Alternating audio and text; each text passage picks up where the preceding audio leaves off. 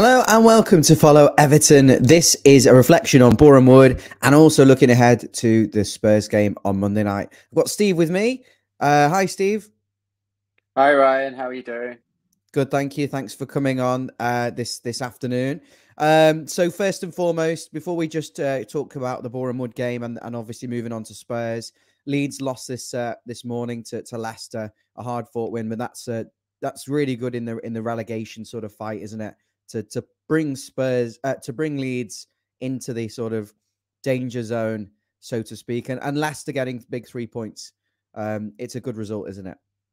It's definitely a good result for Everton, that, and the fact that um, we're looking at results from outside highlights how desperate it's become in the league. But there are still 14 matches to go, right? So I think that it's not panic stations yet, but I think every point and every game seems to have that much more importance. And mm. with us being sort of glued to these other games that we would never normally be batting an eyelid at on a Saturday morning, I think it really yeah. reflects on the state of the situation. Um, a few games today, obviously taking place. Burnley uh, playing Chelsea shortly. Obviously, we're we're, we're hoping for. Um, uh, we're hoping, this on this show.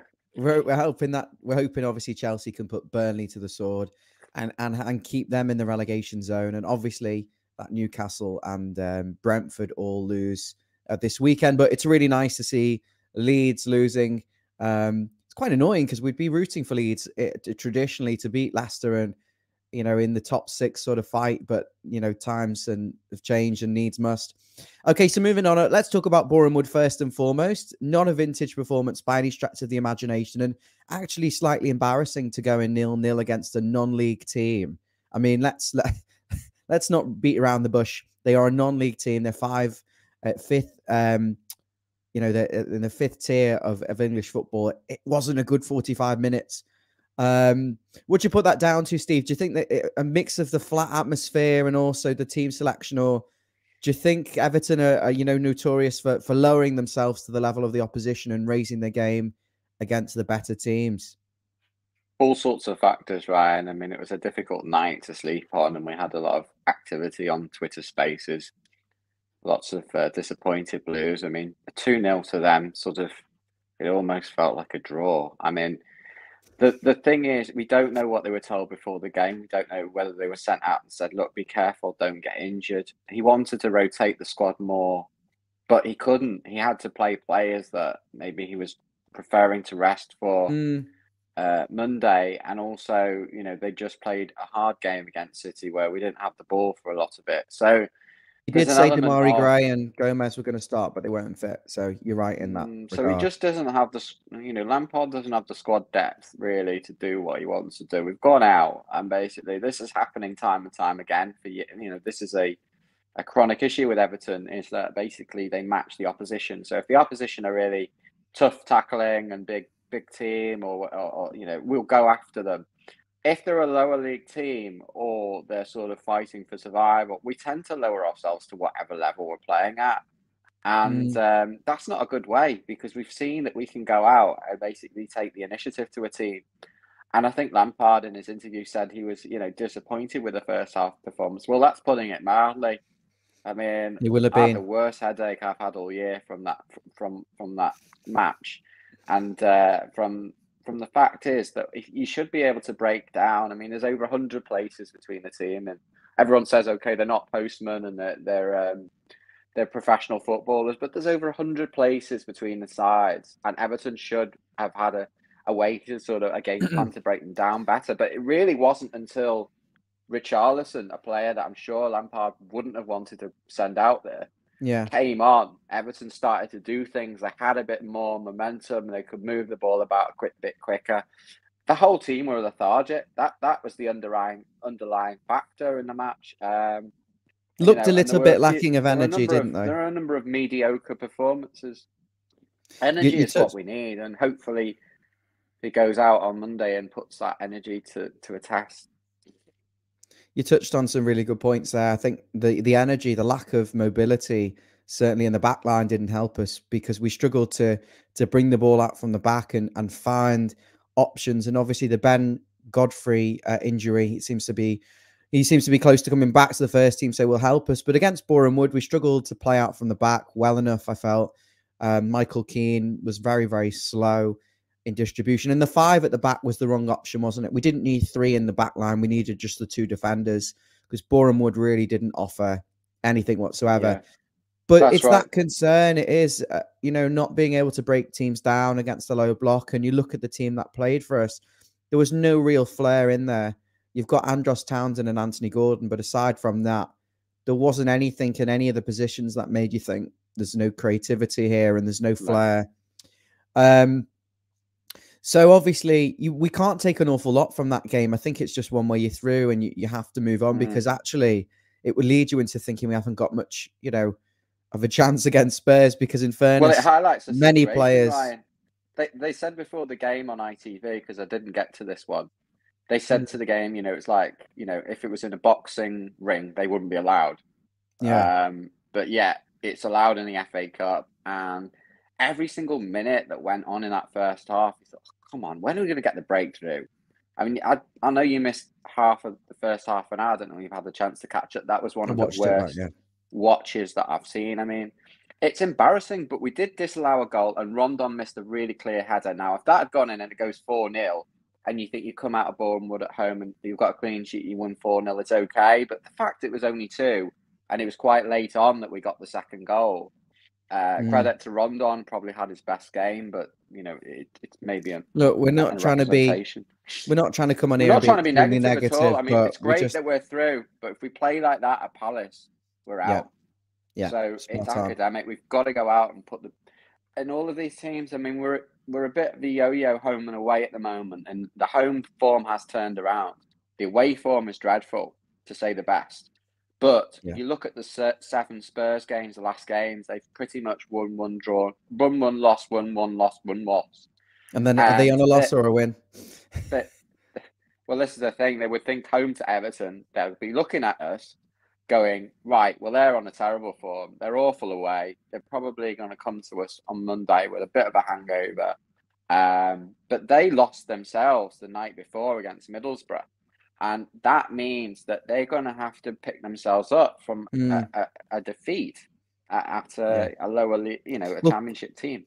We'll come in. We'll come on to Spurs in in a couple of minutes' time um, and obviously talking about Antonio Conte and what he said in his interviews, etc.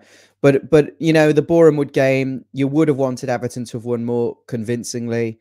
Uh, in the end, the, the, substitution of Richarlison, as you said, changed the game, and Everton had less players in the back line doing nothing and more of a threat.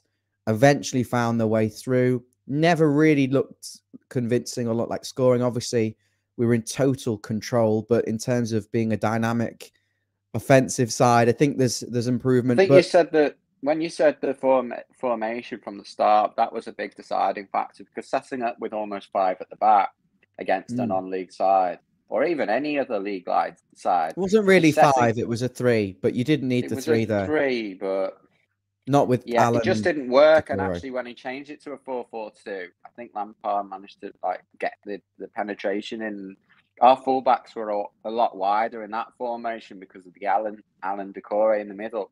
We were mm. wider and we were able to get more width from that than we were when we were three, three or five, whatever way you want to look at it. Definitely worked better with the two two defenders and the the one sitter rather than the three. It's a no-win game. Sitters. I mean, you're home. It's a sellout crowd. I mean, come you know, credit to everyone who went. Sellout crowd. Boreham Wood only get 1,000 on average at, at, their ground, and we get 39. I bought a ticket. I had yeah. a ticket, gave it to dad. Um, if you're new to the channel, I'm Ryan, channel host. Is Stevie with me, my brother. We also got another brother of the, the Grant brothers on here, David Basil. You'll know him as he's got COVID. Don't know whether you know this, Stevie, but he's got coronavirus. Uh, don't know whether I'll be laughing, but um, so we don't. I don't know when I'll next see him on here. Wishing him a speedy recovery. Um, uh, we've also got Mabsy. I think he's a bit busy at the moment, but it's good to have Stevie on here for a chat. And, and I can see his face has dropped because of the COVID. Um, mm. Come on, get that out of your head for the next 10 minutes. well, I just don't, I don't know. So many people are getting COVID and then they're not really being symptomatic. And my, my wife just did a test and she, she thought she had COVID and she doesn't. I mean, you just don't know. It can affect different people in different ways. But uh, let's hope that uh, that David gets uh, better soon. Um. We'll get Basil back on hopefully very quickly. Um, looking ahead to the Spurs, it'll be fine, Stevie. Looking ahead to the Spurs game now, Monday night, Tottenham Hotspur um, at the Tottenham Hotspur Stadium. The glorious, uh, you know, it's a massive stadium, state of the art. It's a, it's a, it's a fantastic piece of um, engineering, isn't it? Really, but we're going to go there. We've won there once before. We won during the COVID. Calvert Lewin with the set piece. Spurs, as you touched upon before, are a bit of a yo-yo team at the moment. And Antonio Conte said they've had 20 years of inconsistency, and that any manager would find it really difficult um, in those shoes. Now, Everton team news: um, Calvert Lewin should be available, and Demarai Gray will be available after missing the Boreham Wood game, and Andre Gomes is back in training. But the game will come too soon for England defender Ben Godfrey. He will be back potentially next Sunday against Wolves. So, with that in mind, you'd expect something quite close to the teams that we've seen in previous Premier League games. But Demarai Gray, obviously, and Calvert Lewin back available will give the manager some food for food for thought. Um, you'd expect Seamus Coleman to return in at right back. Um, and with Ben Godfrey and Yerry Mina still absent, there isn't much choice but Mason Holgate and Michael Keane. Um, and then I'm going to ask you really because when we talked about the team news now, in terms of the selection there, I haven't really, there isn't really many options. Those back three pick themselves, but at left back, the question to you now uh, in filling this starting 11, Mykolenko, do you give him another go if he's fit? Apparently, had a dead leg. I'm sure it'll be Jonjoe Kenny, to be honest with you, but where do you go with that? Do you think you have to give Mykolenko a run of games? You know, he's the long term left back at the club, or do you persist with uh, Jonjoe Kenny, who's been reasonably faultless uh, without being spectacular in, in, this sort of short spell in charge uh, under Lampard? Yeah, it's a good question, right? Because I think it's there's no not a really a, a, win-win situation here. Is first of all, it depends on his fitness. If there's any doubt, you know, we can't afford to put people in, and the same goes for Calvert Lewin. Is you know, wouldn't surprise me if he's on the bench. With, yeah. with Mykolenko, I think if he's fit, you know, it's it's only three or four days between the matches. I, I just can't see him going, and I think Kenny's going to play. I think Coleman will go right back. Um, you know, we desperately. So you go for Godfrey. Kenny's going to play. Uh, yeah, I think I think he will play safe. Um, mm. Just really, I just don't think he's going to take any risks. Um, if he's just come off with a dead leg, it's not like there's a week between the game or that. It's it's just three days, and they will have been travelling up today uh, you would think. Uh, well, maybe not today, but they'll be travelling up the day before the match tomorrow, uh, rather than on, game day, staying in a hotel. And I just can't see two days later. I just can't see him going. You know, it's not going to mm. work for me. Um, okay. Um, thanks, Steve. It, it, moving into midfield, then Allan Doucouré both played 90 minutes of, or more or less 90 minutes, I think it was, against Boreham Wood. And I'm not sure they would have had Andre Gomes been. Suddenly gone very dark in here had Andre Gomes been available and Van der Beek and Dele Alli, which were cup tied, you'd expect Van der Beek to come straight back in to the midfield and, and stick with the 4 3 3 that was so successful against Man City. Um, Van der Beek, Allan, and Doucouré in the midfield with Demarai Gray uh, on one wing. Now, I don't think Dele Alli's quite ready to start, and I don't think he will at Spurs. But Demarai Gray and Anthony Gordon, you'd expect the two of them in there with Richarlison up front and Calvert Lewin being fit enough for the bench. But the question mark is, and I think most people would agree with that team that I've just mentioned, if Calvert Lewin is 100% medically fit and can start and can put in 90 minutes, would you be inclined to switch to the 4 4 2, drop one of the midfielders out, maybe an Allan, uh, and go Van der Beek and Doucouré, Gray and Gordon on the wings, and Richarlison and Calvert Lewin up front? Or would you say, no, no, no, I'm going to stick with the 4 3 3, pretty much the same team that played against Man City? So the floor is yours. What would you do? Well, I think that we played so well against Man City. And uh, it's interesting because that was a defeat, but felt like a win. And then we won, and then it felt like a defeat. Um, I think you can't drop Allan and Doucouré on their performance against Man City. Mm. And everyone knows what a shocker Gomes has. Apparently, he's been out injured. So I think Allan and Doucouré I think he was bombed out. Van der Beek is a definite, you know, mm. really at the heart of that. To be honest, he's been the best player for the last few weeks. Uh, Demarai Gray, you know, I'd bring him in on maybe on the left.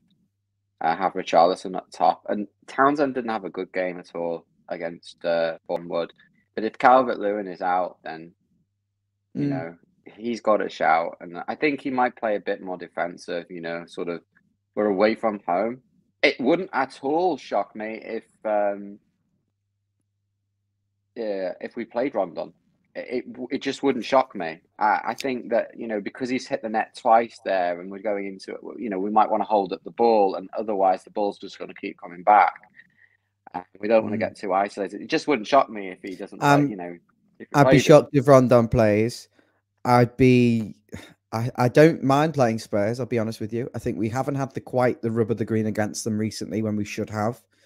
Um, I might be inclined to put Richarlison on the right side of midfield, um, with Calvert Lewin up front and Demarai Gray on the left. And I think Gordon maybe I'd leave him out for this one potentially, just to accommodate Calvert Lewin, to accommodate Gray and Richarlison, and to make sure we've still got the three solid midfielders in there. Because That's an ideal Richarlison's still there situation, Ryan. That's an ideal situation, that team you named, but you've got to base Mm. it on the fact that we've got 14 games and an FA Cup quarter final still to play.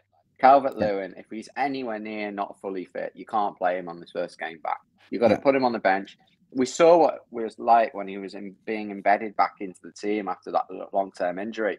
He just wasn't at his best, and it gets frustrating when you see that. Richarlison's done really well when he's played up for it on his own. And so it wouldn't shock me if he does that again. Um, he played really well against Man City and, and pretty decent when he came on against Bournemouth, although he's a Brazilian international against a non-league team. But I think the Man City game, really Brazil's well number nine against. Um, I would say Man City playing up front on his own did awfully well. He Yeah, was supported brilliant. by other players. The, the players were more compact and more up for it anyway. Um, They were very effective against Man City. They would have won against any other opposition on on on that day. Um, Spurs then obviously uh, I touched on Antonio Conte. I- I think he he's not going to last there. I think he'll be walking out of Spurs soon um, if it continues. Just from some of the stuff he said, They've had a lot Um, of changeover in managers, not as much as us, but you know their fans get impatient, and um, rightfully so. They spent decent money, and they've got one of the best forwards in the world. Um, they've got a Steve- huge, sta- huge stadium, so you know their expectations are higher. Steve, I've got a question for you in the comments about Abramovich at Chelsea. We'll save that to the end if that's okay. Um, and, and just stick with with Spurs. Let's keep on onto this for now.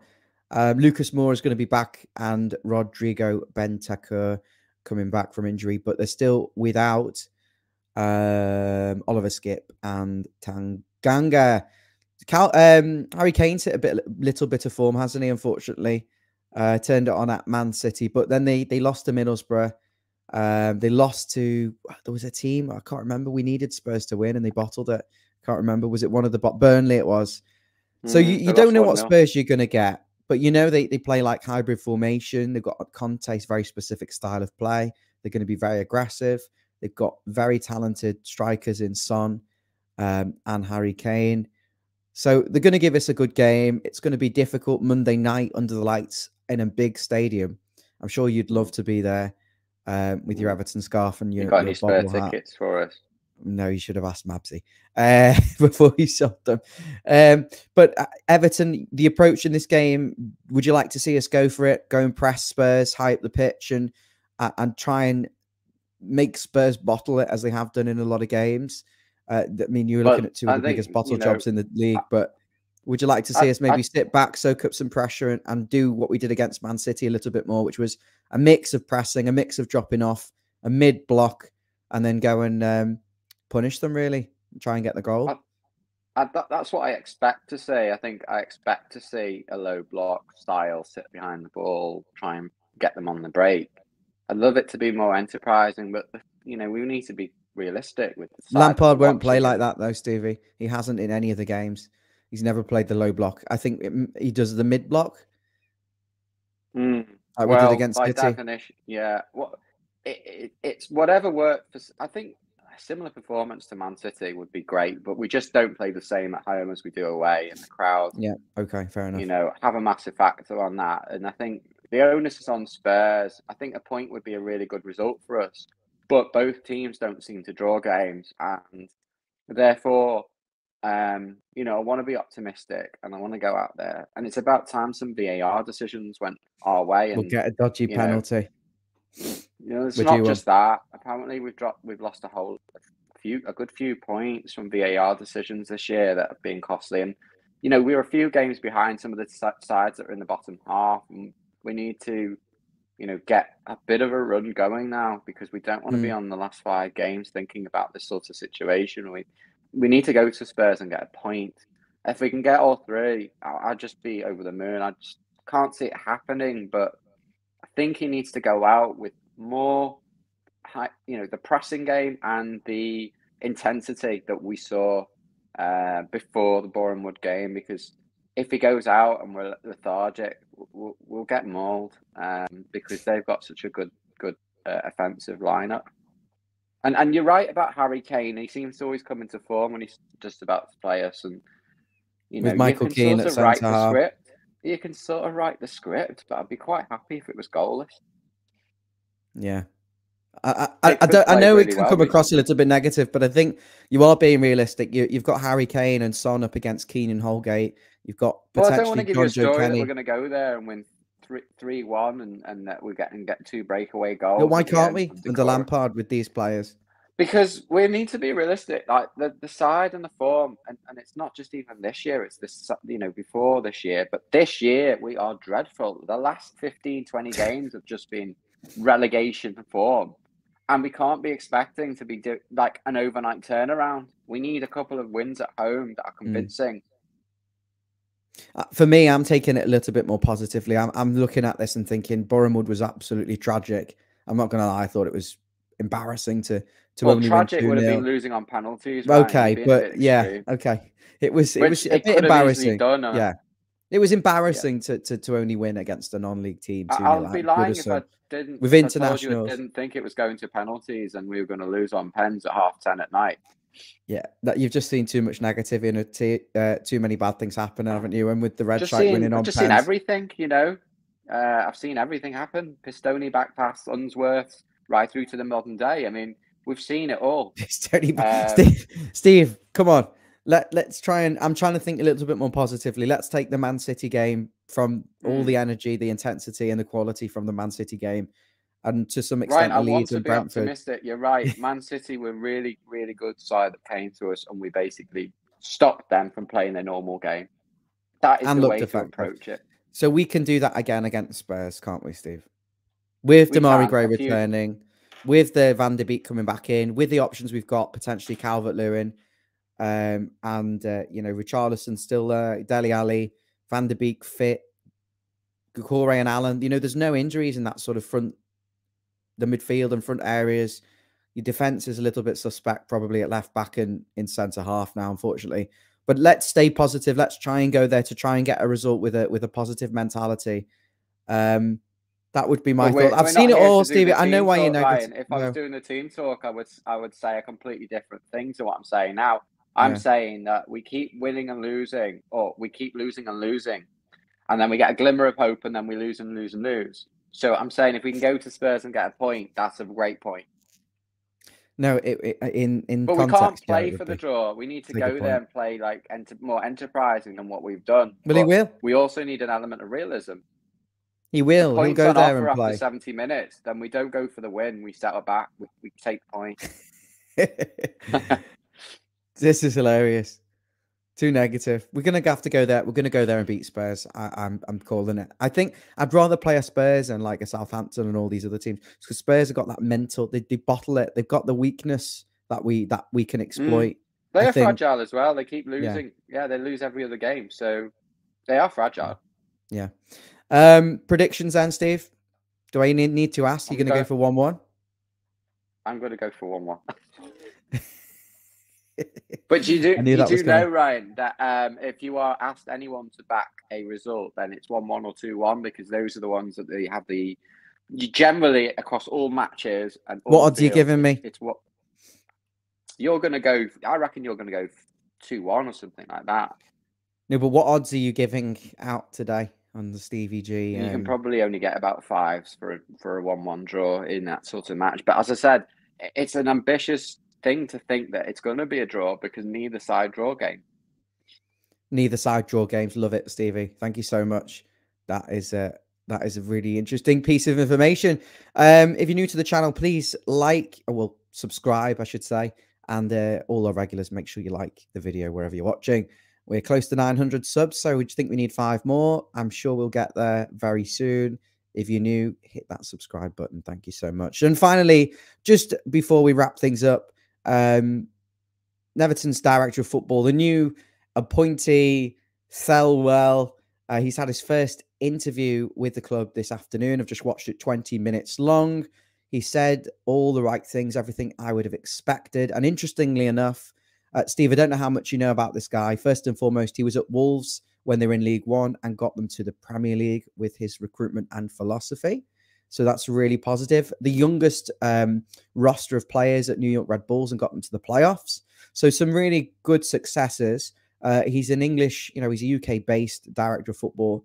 His family are all from the Northwest. His dad is an Evertonian. He said 68 years of being a Blue, and he's honoured and privileged to be the Everton director of football. He's here to oversee all the supporting departments to Frank Lampard, including the medical services, recruitment, um, overseeing what happens in the academy. So there's so much, so many different things going on with him.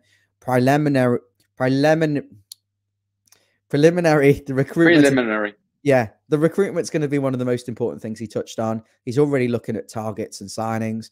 Working with Frank, he's very enthusiastic and encouraged by what he's seen from Lampard already, um, and is excited to build for the future. And said that the motto, "Nothing but the best is good enough," is extremely important and something they want to bring into fruition.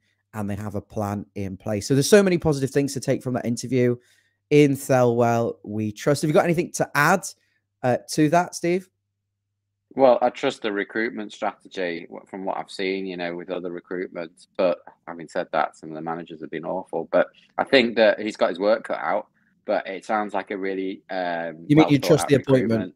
You trust this appointment? That's what you're trying to say. Yeah, um, you've got to back this appointment. You've got to you've got to think that this was a really important move, and I think that I'm really looking forward to seeing. And it's not an overnight process, just like the first team. Yeah, but, I'm excited. You know, it's got to start top to bottom.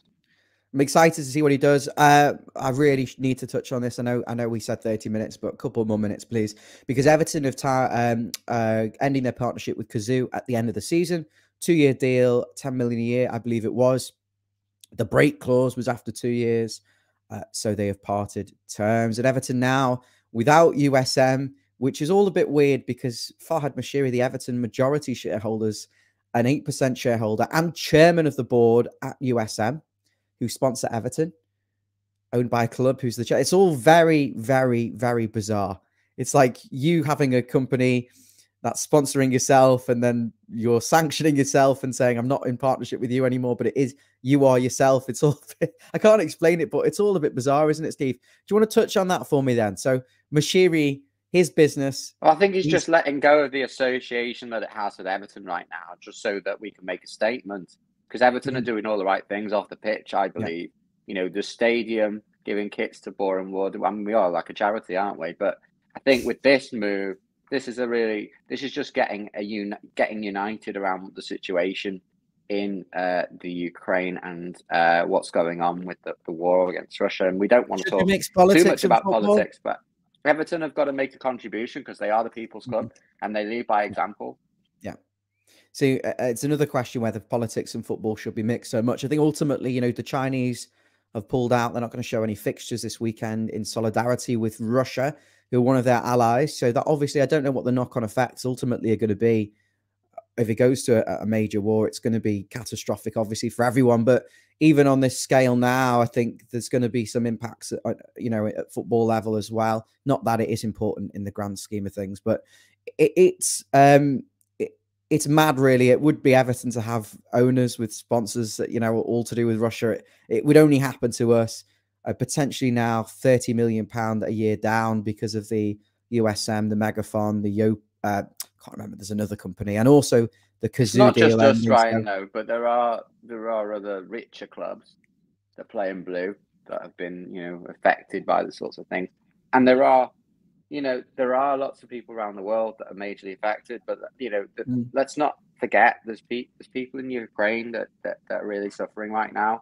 Mm. And so the money contribution, hopefully Everton will be able to like get around this in the future. But you know, the lives that are being lost can never be re, re you know replaced, and and and it's well, you can't mix thoughts, it because really, if you start if you start actually taking into the context of what's going on over there, then the actual me asking you the question about whether it's going to impact our financial fair play and we're going to really struggle and potentially, you know, Well, if you're really, really suffer. from with- Everton's point of view, Yeah. you think that they're going to be able to absorb the situation. But if they didn't do what they've done, and this is the crucial thing here, that the image that Everton have can be scarred. You see, people look at you and go, "Well, you've got a Russian font, so you must be backing what's going. Are you condoning what's going on out there?"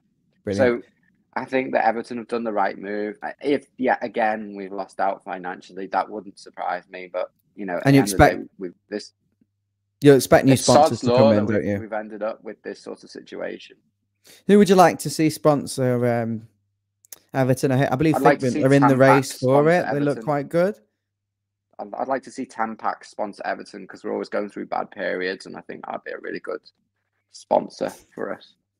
Figment, Uh, no, any on a chance of them realistic, on a realistic, uh, on a on a realistic note, um, I'd be happy with um, with Danka because we won something when they were the sponsor, Not auto and, audio um, services. and it and it wouldn't be. Uh, No, not know, Select Interiors. None of these companies. I uh, I, I think anyone that wants to sponsor Everton obviously doesn't have a lot of commercial acumen because of the way we've been playing. But you know, What are the on a- on a connotations of- apart, What's The the, brand we can get. connotations of being with Everton? What would you say if you were selling Everton sponsorship to someone? If you're the sales sorry, what are manager, the for, connotations? We If you're the sa- with a very loyal fan base that um, have just had to pay extra for the season ticket, so have no money to spend with your, your goods. David, David's furious. he Um, hasn't got the money. No, No, you, no, you're you're, you're in charge of you're in charge David. of Everton sponsorship now. Tell me why I should sponsor Everton. Hmm. Why would a club? You know, we're struggling. We've got fans. We're we're, mo- we're moving we're moving forward. We are moving forward as a, as a, as a club, and and the heritage and history goes with that.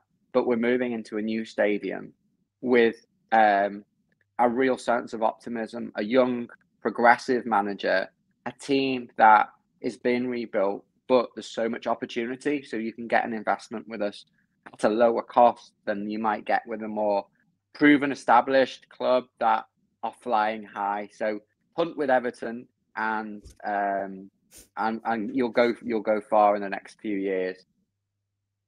Stevie G, ladies and gentlemen, thank you so much, Stevie, for coming on. Pleasure as always. Absolutely fantastic. Yours truly. on everything. What's on the cup? What's on the mug? Anything worth showing? Uh, this is just a, a blue piano just to remind me to do some practice. Um, but I think I think yeah, we're looking forward to Monday under the lights. So come on, you Blues.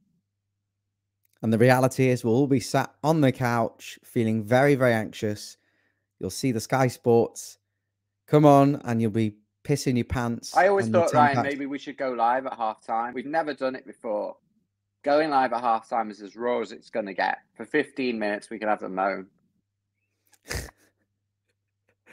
Don't know. It, it's be lucky to get it's either that or we listen to. Carragher and Neville jabber on about, you know. I know. It's a, it's a good it's a good idea, Steve. We'll think about it. Thank you so much for coming on, guys. Thanks for watching. Follow Everton. Please subscribe, and if you're if you're new, make sure you do so because it is really important to us. And also like the video and comments retrospectively will be listened. Sorry, will be read by yours truly. It can be passed on to Steve if you've got anything, any questions or anything you want to ask him. Please put in the comments, and I will fire them at him for him to ignore. Right, guys, thank you so much. Speak to you soon. Stevie, smile, wave at the camera. Cheerio. Bye. Cheerio.